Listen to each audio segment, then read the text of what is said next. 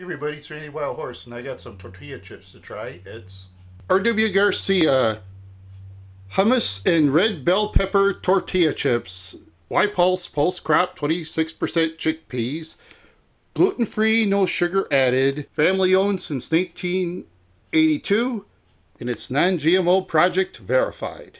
I'm actually going to try this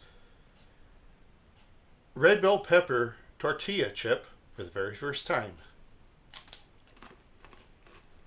Mmm. Mmm. Oh God. Try R.W. Garcia tortilla chips.